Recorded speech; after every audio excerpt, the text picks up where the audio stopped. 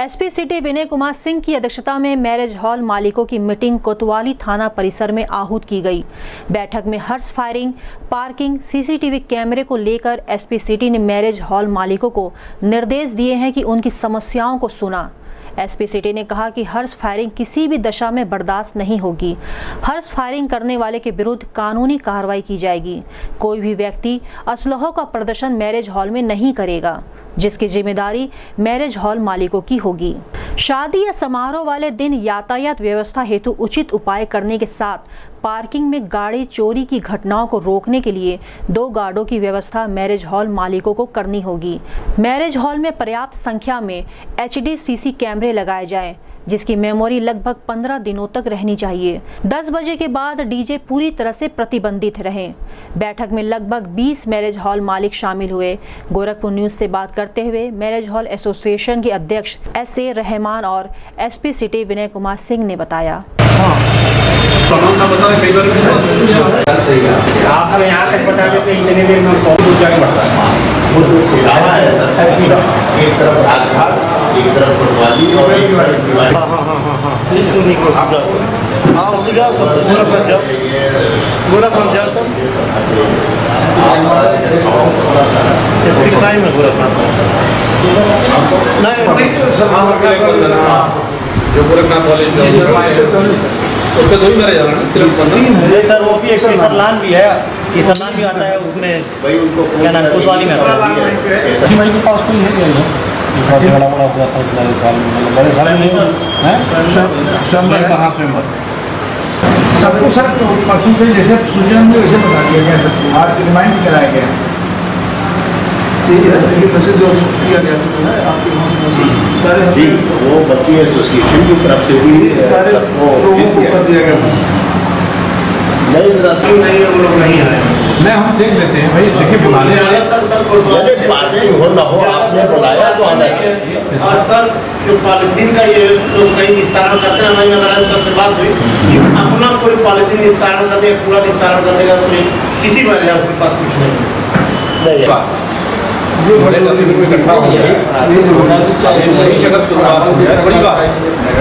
वही अगर शुरुआत हो जाए बड़ी बात है आप तो पूरा संयंत्र वाली बात काफ़ी एक स्टेप आगे चले पूरा इकट्ठा करवा दें यही बड़ी बात है कि नगर निगम वाली गाड़ी है फिर उसको लेकर चली जाए तो चारों तरफ़ फैले नहीं पूरे रोड पर यही होता ही है अच्छा मेरे ध्यान हो तो खाना जो मतलब जैसे रात वाला खाना है और सुबह ही तो नगर निगम की गाड़ी ले जाएगी और सुबह तक इतना बदबू करने लगता है तो शहर में जा रहा होता है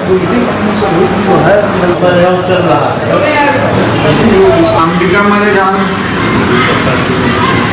शालीमार होटल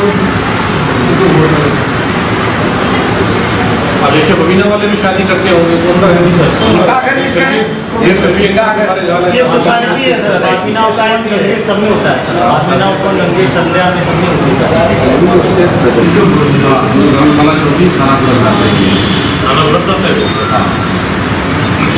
करंट राशन से लेकर के लिए लोग आते हैं तो अब एक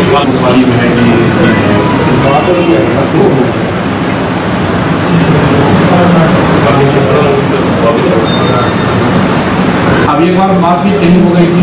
मतलब वह कैसा काम कर रहा था तो सारी चीज़ें बिल्कुल क्रिस्टल क्लियर किया तो अगर ये तो लगाने की उपकरण आवश्यकता है और लगने के बाद वो फ़ंक्शन हालत पे हो तो डे टू डे मॉनिटरिंग होती रहे उसकी।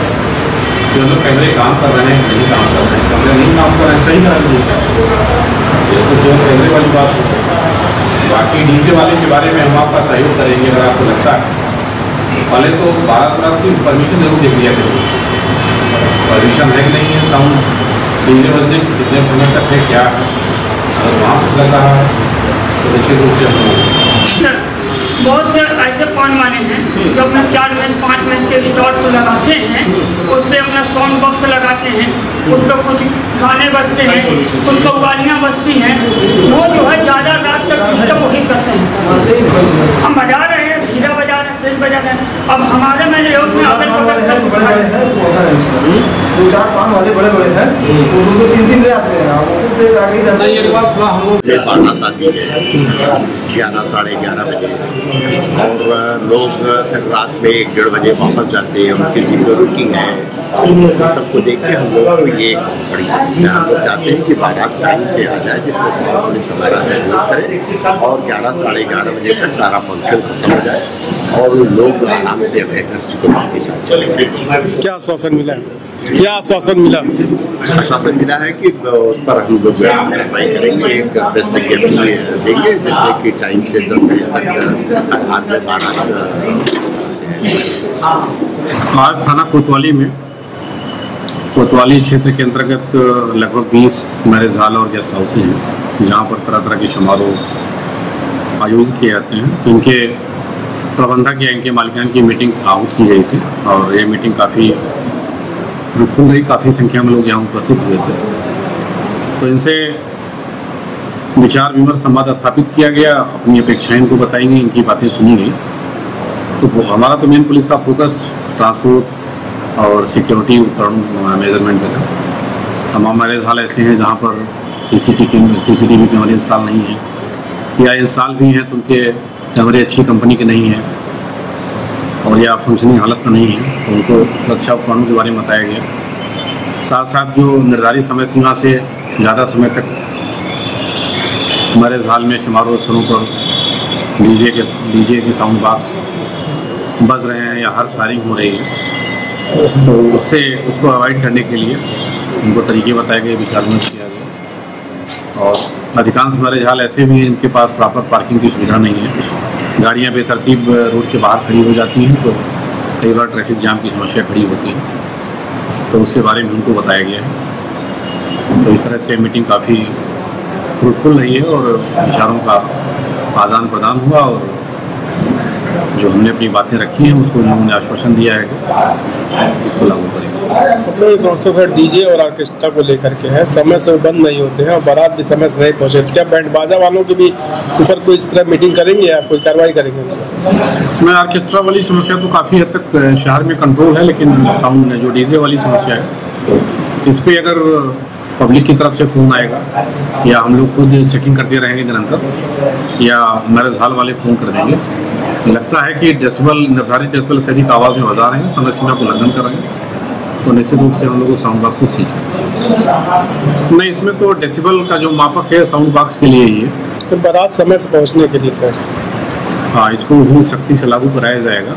थोड़ी सी इसमें अभी बारातें देर से पहुँच रही हैं थोड़ा सोसाइटी को भी जागरूक होने की ज़रूरत है। लेकिन धीरे धीरे जहाँ पर आदमी लॉ अबाइडिंग पर्सन होंगे और पुलिस की जो हमारी एजेंसी इन्फोर्समेंट वाली है काम करना शुरू कर देगी तो हमें आशा है कि इसका भी हम लोग पालन करा ले जाएँगे।